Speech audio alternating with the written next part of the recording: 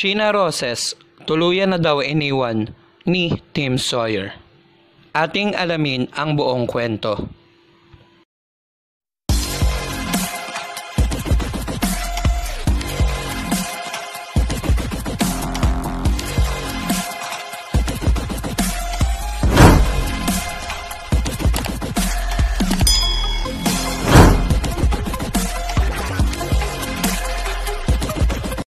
Talagang naging maingay ang hidwaan ni Miss China Roses at Tim Sawyer nitong mga nakaraang araw.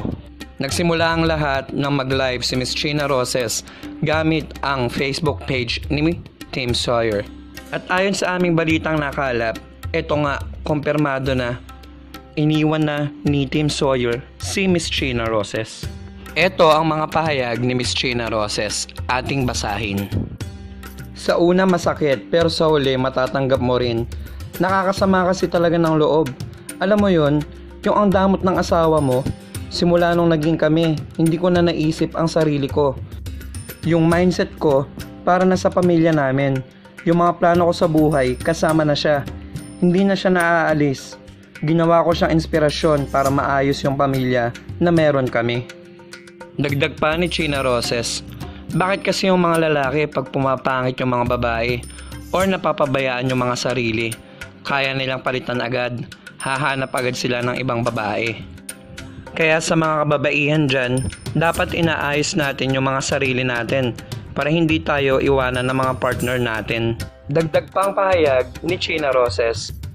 Dapat kasi maging matured na ang bawat isa pag pumasok sa relasyon.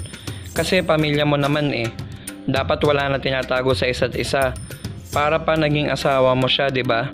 Para saan pa at nagsama kayo sa iisang bahay.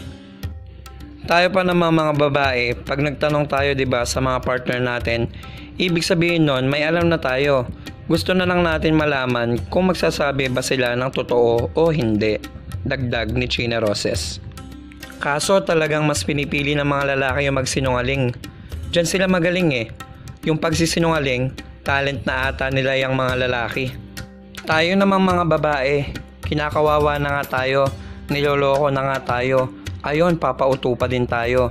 Pero kasi tayong mga babae, gusto kasi talaga natin lang na maayos yung relasyon lalo na pag may anak na. Yung tipong kahit ang sakit-sakit na, ipipilit pa din natin yung relasyon kasi may anak tayo. Batid pa ni China Roses, para naman doon sa mga babaeng gustong umextra sa may mga karelasyon na, huwag na kayong sumubok kasi nakita nyo naman yung kinalabasan, di ba? Huwag nyo naman masyadong kapalan na yung mga mukha nyo. Sa totoo lang, ilang araw ako nagtiis bago ako tuluyan sumabog. Pinipilit kong maging mahinahon, kaso wala na, ang tigas kasi talaga ng ulo nun. Sabi pa ni China Roses, sana naman sa ngayon nagsisisi na siya sa mga ginawa niya sa akin. Huwag naman sana humantong pa na mawala na ako ng nararamdaman pa para sa kanya bago siya tuluyang bumalik sa akin. Basta ang payo ko lang sa mga kababaihan na tulad ko, kailangan natin bumangon lalo na sa mga single mother dyan.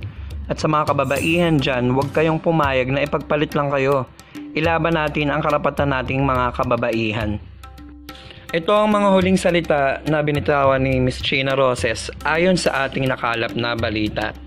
Ano sa tingin nyo, ito ba ay konfirmasyon na talagang iniwan na sila ni Tim Sawyer at hindi na siya binalikan after ng mga nangyari? Patuloy pa rin tayo maghihintay at susubaybay sa dalawang ito kung ano ang mangyayari sa mga susunod na araw. Muli po hanggang dito na lang no mga kakamon. See you in the next content. Thank you, thank you so much. Gracias. Come on!